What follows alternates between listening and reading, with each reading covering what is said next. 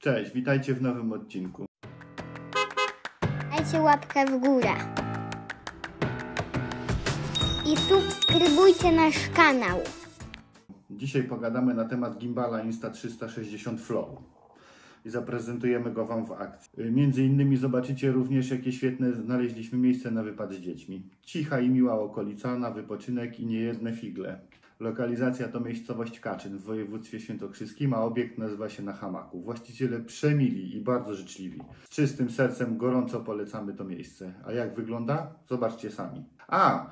Oczywiście wszystkie ujęcia nagraliśmy za pomocą gimbala i iPhone'a w jakości 4K. Zapraszamy do oglądania.